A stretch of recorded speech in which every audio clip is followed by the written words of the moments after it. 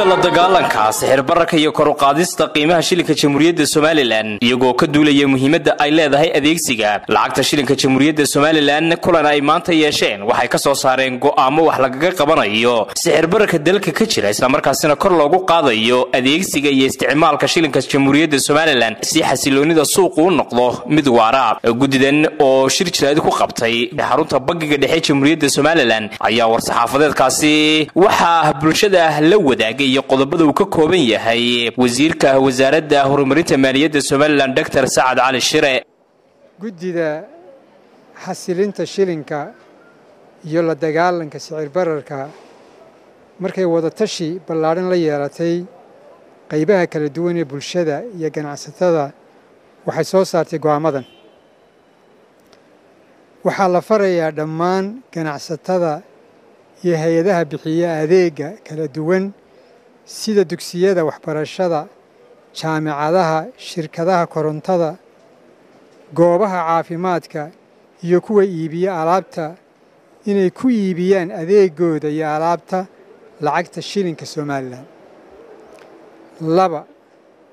waxaa la farayaa dhammaan sariflayaasha ganacsatada kala duwan iyo shirkadaha bixiya adeega lacagta lacagaha la ysugu diro ee telefoonnada iyo baananka iyo heedaha maaliyadda inay ku dhaqmaan heerka sarifka maalinlaha ee bangiga somalilan soo saaro. Qodobka saddexaad waxaa la farayaa shirkadaha bixiya adeeg adeegyada lacagaha la ysugu diro telefoonnada iyo baananka leh nidaamyada elektroniga ah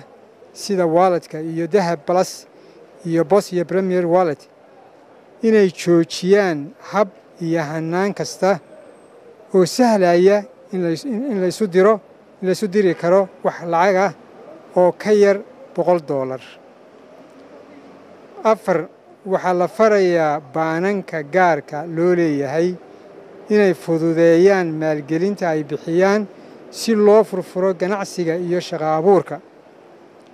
shan waxaa la farayaa dhammaan baananka gaarka loo leeyahay